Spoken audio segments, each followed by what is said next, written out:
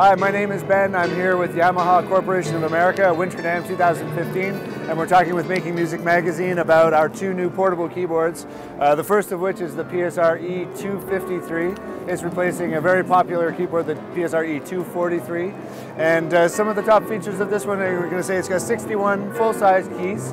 It features onboard lessons. Uh, we've got an auxiliary input on the back for the connection of an MP3 player, which is great because you can use the speaker system of these of this. Uh, it's battery powered or AC powered, and uh, we've got a new phrase recorder in here so you can capture your song ideas really quickly and easily and play them back quickly and easy just to uh, make sure you don't lose those fantastic ideas.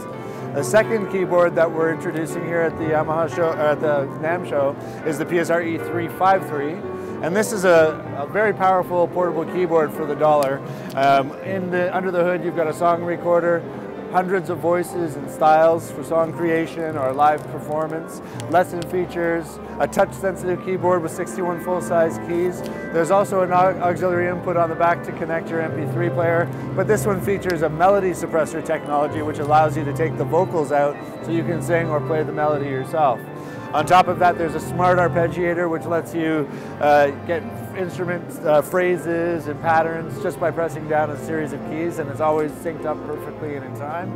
And uh, lastly but not leastly, we've got USB to host connectivity. So you can connect this to your PC or your laptop computer and uh, get MIDI transmission and use software uh, that way. It's a powerful little machine. So that's the new stuff that we've got in portable keyboards and uh, thanks for watching.